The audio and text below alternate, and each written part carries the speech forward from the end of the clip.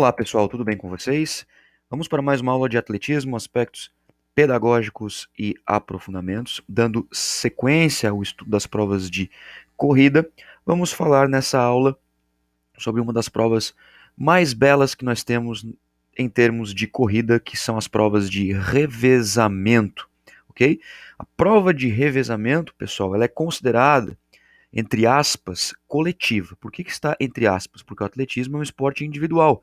Entretanto, especificamente no revezamento, existe um caráter de coletividade, ou seja, de grupo, pois a prova é composta por quatro atletas e basicamente eles vão ter o desenvolvimento da mesma técnica das demais provas de velocidade. Então, os educativos que são utilizados, os exercícios que são utilizados no ensinamento do ato de correr, da habilidade motora correr, também se transfere para o revezamento, ok?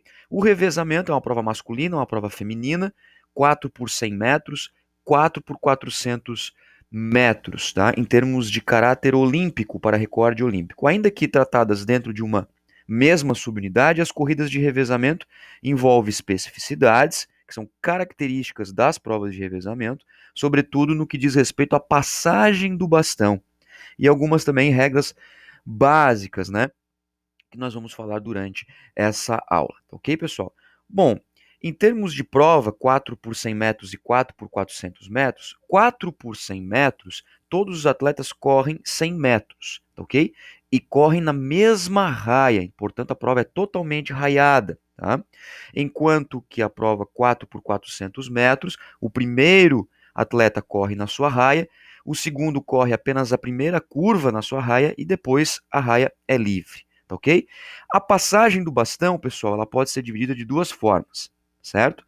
Não visual, onde o atleta ele não olha para trás, ou seja, ele não olha para o seu colega que está vindo para entregar o bastão e mantém assim então uma corrida mais rápida, utilizado basicamente nas provas de 4 por 100.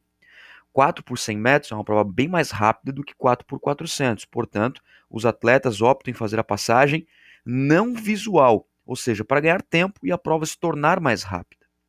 A passagem visual, por sua vez, é aquela prova onde o atleta ele olha para o seu colega que está vindo entregar o bastão para poder então pegar o bastão e dar sequência na prova, utilizado no 4 por 400, tá ok?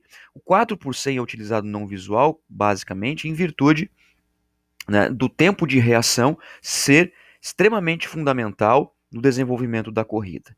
Entretanto, quando nós falamos de iniciação a o revezamento, ao revezamento propriamente dito, né, utiliza-se muito a passagem visual, tá? pelo contato que existe entre um e outro companheiro, justamente para estimular a coletividade.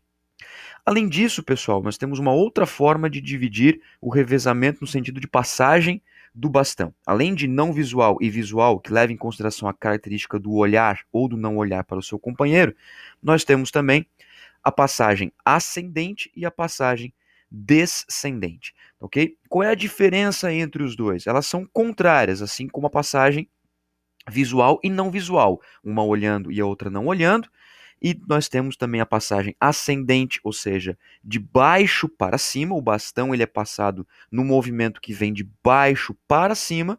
E a passagem descendente é feito o contrário. A passagem do bastão é feita de cima para baixo. O atleta vem entregar o bastão de cima para baixo, ok? Eu separei aqui umas imagens para você, levando em consideração que a imagem está tá, da sua direita para sua esquerda, do A até a letra F, ok? A flechinha então indicando este movimento. Nesse caso aqui nós temos então a passagem ascendente. Perceba aqui nas figuras, nas imagens em que é entregue o bastão no movimento de baixo para cima, até que seja pego pelo atleta seguinte, tá? Seja da primeira para o segundo, segundo para o terceiro, terceiro para o último atleta que vai correr, ok? Bom, a passagem descendente, como vocês podem perceber na imagem, mais uma vez da letra A para a letra E, agora, ok? A flechinha indicando da sua direita para a sua esquerda, em que o atleta faz um movimento, então, de cima para baixo, entregando o bastão.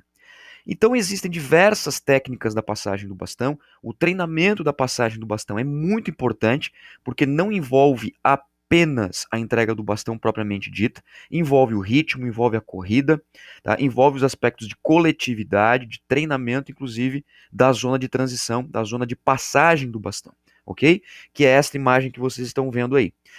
A zona de passagem, pessoal, ela possui 20 metros mas alguns atletas utilizam 10 metros anteriormente à zona de passagem, que se chama handicap, ou zona de aceleração. Ou seja, quando o atleta começa a se aproximar daquele que vai entregar o bastão, ele já começa a correr de forma que o bastão seja passado aqui dentro da zona de 20 metros. Tá? Por regra, o bastão tem que ser passado dentro desta área de 20 metros que vocês estão vendo aqui. Tá? O início da passagem é aqui no ponto zero e o final no ponto 20. Tá? O bastão tem que ser passado dentro desta zona, dentro da zona de passagem. O que acontece é que muitas vezes os atletas optam por começar a sua corrida 10 metros antes, para que quando este que está com o bastão estiver próximo a este, já esteja dentro da área de 20 metros, onde este que vai receber o bastão já esteja em uma velocidade muito mais alta, tornando então a prova mais eficiente. Isso é treinamento, tá ok? Se o atleta passar o bastão fora da zona de passagem, seja antes ou seja depois, ou seja, passar fora dessa área de 20 metros, a equipe é desclassificada.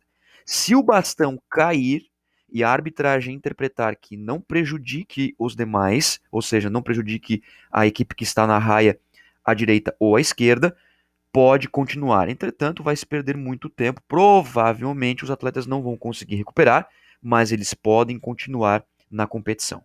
Ok, pessoal? Bom, falamos disso então, né?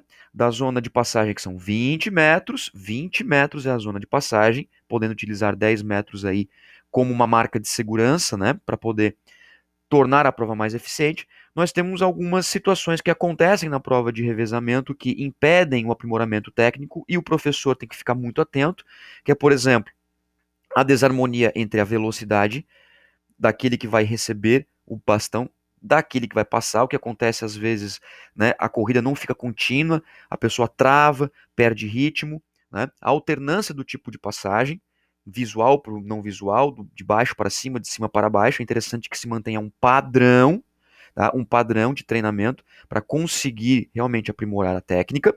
Nós temos também os braços flexionados no momento da passagem.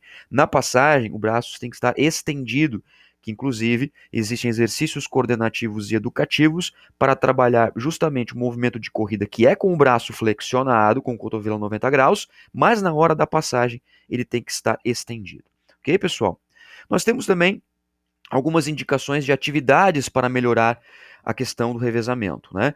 Revezamento é uma prova extremamente interessante, coletiva, motivante. Então, as atividades lúdicas e de estafetas estimulando a coletividade é uma forma de fazer isso. Tá?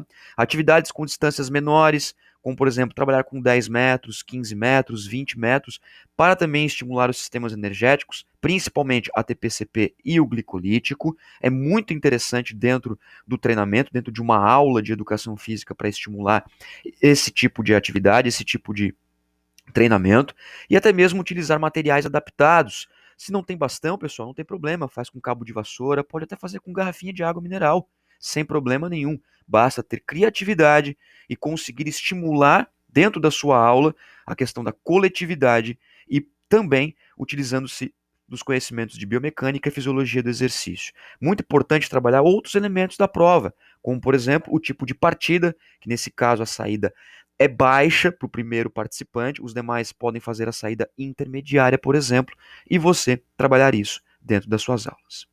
Ok, pessoal? Dúvidas? tragam para a sala de aula. Eu agradeço a atenção de todos vocês, um forte abraço e até o próximo vídeo.